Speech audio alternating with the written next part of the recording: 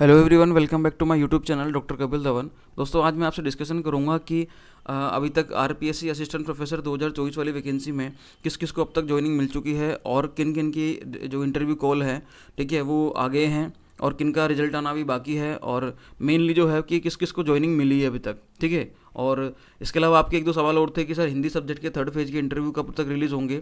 Interview के letter अभी तक रिलीज़ नहीं हुए इंटरव्यू डेट वगैरह तो आ गई है, ठीक है? तो मैं इस पर थोड़ा डिस्कशन कर लेता हूँ। इंटरव्यू डेट का मैं आपको बताऊँ हिंदी के थर्ड फ़ेज़ का। तो देखो 25 तारीख से आपके इंटरव्यू स्टार्ट हो रहे हैं 25 नवंबर से। तो आपके इस वीक में हो सकता है कि आज या कल ही, ठीक है, आज भी हो सकता है कि आज ही आपके जो इंटरव्यू लेटर है वो रिलीज़ हो जाए, या फिर कल तो आपके इंटरव्यू लेटर रिलीज़ हो ही जाएँगे, ठीक है वेनसडे को।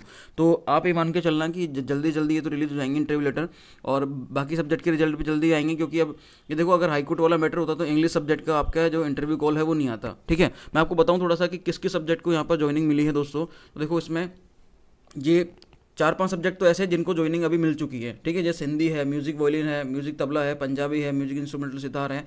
इनमें कई मेरे फ्रेंड भी हैं जिनको ज्वाइनिंग मिली है। उनके मतलब फाइनल रिज़ल्ट के बाद उनकी काउंसलिंग हुई थी और काउंसलिंग के बाद उनको फाइनल ज्वाइनिंग जो है वो दे दी गई है। ठीक है तो इस पर मैं एक बार और आपको मिला दूँगा। जैसे ही जो, जैसे सिंधी सब्जेक्ट के मेरे एक फ्रेंड हैं तो उनको फाइनल ज्वाइनिंग मिली है तो एक बार हम कोशिश करेंगे कि उनको हम मंच पर लेकर आएँ और वो अपना जो इंटरव्यू का एक्सपीरियंस है, वो अपना शेयर करें और अपनी जो प्रोसेस है, उसके बारे में बताएँ पूरा। ठीक है? और बाकी इनके अभी तक आ, मतलब फाइनल रिज़ल्ट तो आ गए इनके। मतलब ये आराम से इनको कोई इशू नहीं है। ये असिस्टेंट प्रोफेसर बन चुके हैं। लेकिन इनकी अभी फाइनल ज्वाइनिंग बाकी है ठीक है? तो ये है। इसके अलावा हम बात करें तो जिनका रिज़ल्ट प्रियम्बल आ गया तो देखो इन सबका तो आ ही गया है। रिज़ल्ट प्रियम्बल इनका फाइनल रिज़ल्ट भी आ गया। लेकिन जो जेनोलॉजी है आ, हिंदी है आर्ट हिस्ट्री है साइकोलॉजी है स्कल्पचर है पेंटिंग इंग्लिश का तो अभी दो तीन दिन पहले ही आया है इसका ठीक है? इंटरव्यू कॉल तो इस तरीके से ये टोटल सब्जेक्ट है अपने जिनके इंटरव्यू कॉल भी आ गए हैं। और इनमें से मैक्सिमम मतलब आधे से, आधे लोगों को तो ज्वाइनिंग मिल चुकी है। तो जिनमें नंबर ऑफ़ सीट कम है, उनको ज्वाइनिंग मिल चुकी है। और बाकी जिनका रिज़ल्ट मतलब रिज़ल्ट प्रियम्बल अभी अभी आया है तो उनको भी ज्वाइनिंग मिलना बाकी है, क्योंकि अभी इनके इंटरव्यू चल रहे हैं अभी। ठीक है, कुछ के ऐसा है कि इंटरव्यू भी हो गए, और उसके बाद इनकी काउंसलिंग चल रही है, लेकिन ज्वाइनिंग मिलना बाकी है। इस तरीके से यहाँ पर ये यह आपका पूरा का पूरा सेटअप है।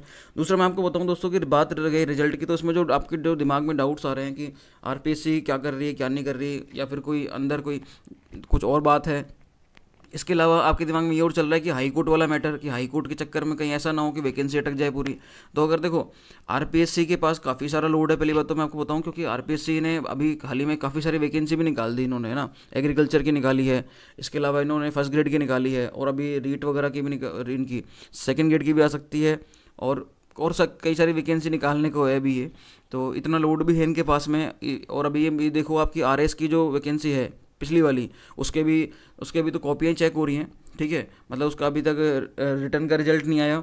उसके अलावा नई वैकेंसी भी आ गई है आर एस की तो वो एग्ज़ाम भी कराना है इनको। तो इस तरीके से अभी लोड थोड़ा काफ़ी है, इसलिए क्या पता रिज़ल्ट नहीं निकल रही हुई है। और मतलब तो एग्जैक्टली हमें कुछ नहीं पता अभी जब तक आरपीएससी खुद ना बता देना कि, कि ये रीज़न है तब तक हम उन चीज़ों पर जा ही नहीं सकते दोस्तों। ये वाली बात है ठीक है? तो आप बिल्कुल भी मतलब इतना ज़्यादा चिंता ना करें। दूसरे हाई कोर्ट वाली बात है तो हाई कोर्ट का तो सिंपल सा फंडा है कि उनकी एक हियरिंग होगी। हियरिंग में वो अपनी सारी बातें और क्लियर कर देंगे। बाकी उन्होंने ये अटकाया नहीं है कि आप इंटरव्यू कॉल वगैरह नहीं कर सकते रिज़ल्ट नहीं निकाल सकते। रिज़ल्ट जो है वो निकल ही रहे अगर ऐसा होता तो हिंदी का नहीं आता इंग्लिश का भी आ गया अपने ये ठीक है? तो मतलब कुल मिला की बात क्या है कि आराम से आपके बाकी सब्जेक्ट के रिज़ल्ट भी कभी भी जारी हो सकते हैं दोस्तों तो कुछ नहीं कह सकते क्योंकि ऑलरेडी इतना टाइम हो गया। जैसे मई में एग्ज़ाम हुए हैं, मई में एग्ज़ाम हुए हैं और अब क्या चल रहा है अपने नवंबर मतलब टोटल सिक्स मंथ हो गए तो छः छः महीने अगर हो गए एग्ज़ाम को तो सीधी सी बात है अब तो अब तक तो इनके जो इंटरव्यू कॉल तो कम से कम आई जानी चाहिए थे। तो अब अब नहीं आएँगे तो कब आएँगे, ठीक है? और बाकी आप आप कहते हो कि, सर, ये वाली वैकेंसी बहुत ज़्यादा डिले हो रही है। तो वैकेंसी डिले होना क्या होती है, मैं आपको बताता हूँ। देखो दोस्तों, कि दो हज़ार चौदह में वैकेंसी आई थी असिस्टेंट प्रोफेसर की, ठीक है? जो कि 2018 में जाके कंप्लीट हुई थी। 2014 में वैकेंसी आई थी 2016 में एग्ज़ाम हुए थे उसके, और 18 में जाके उनको सब ज्वाइनिंग वगैरह मिली थी। तो बताओ, चार साल तक का वेट किया था उन्होंने। हमारी वैकेंसी में देखें 2020 में वैकेंसी आई थी, और 2022 मतलब तेईस तक वैकेंसी गई थी दो मतलब अप्रैल तेईस तक इनमें लोगों को ज्वाइनिंग मिली है। तो आप बताओ, बीस से तेईस तक तो आपके तो क्या है अभी? है 2023 में वैकेंसी आई थी तो आपके 24 आपके चल रहा है तो 25 तक तो ये मानो मिड 25 तक लगभग लगभग सबको ज्वाइनिंग मिल जाएगी, हो सकता है कि तो मतलब सारी चीज़ पूरी वैकेंसी कंप्लीट हो जाए ये वाली, ठीक है? तो आप इतना ज़्यादा इसको वो मत समझो कि डिले हो रही है, क्योंकि ये ये जो पोस्ट है असिस्टेंट प्रोफेसर कोई छोटी मोटी पोस्ट नहीं है ये हाईएस्ट ग्रेड पे की जॉब है पूरे इंडिया में तो इसके लिए थोड़ा सा आपको अगर वेट भी करना पड़े थोड़ा सा पेशेंस रखना पड़े तो पेशेंस रखो क्योंकि इसमें एग्ज़ाम तो होता ही है ठीक है? एग्ज़ाम के साथ साथ इसमें एक दूसरा एग्ज़ाम भी होता है कि एग्ज़ाम के बाद भी इसमें एग्ज़ाम हो रहा है वो क्या है? वेट करने वाला। आपका एक टेस्ट होता है इसमें ये जिसमें आपका पेशेंस का टेस्ट किया जाता है कि आप कित, आप कितना पेशेंस रखते हैं ठीक है? क्योंकि कुछ लोग क्या है कि आपा खो देते हैं अपना। और वो फिर उस वजह से इतने चिड़चिड़े हो जाते हैं और किसी से बात नहीं करते।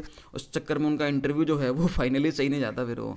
ठीक है इंटरव्यू में वो चीज़ें वो, जो जो परफॉर्म करना चाहते हैं, वो परफॉर्म नहीं कर पाते या उनकी प्रिपरेशन प्रॉपरली नहीं हो पाती। क्योंकि वो इसमें दिमाग लगाते रहते हैं कि कब रिज़ल्ट आएगा, कब रिज़ल्ट नहीं आएगा। तो ये वाली चीज़। है तो रिज़ल्ट आपका आ जाएगा जल्दी, आप इसके लिए बेफिक्र रहें, ठीक है?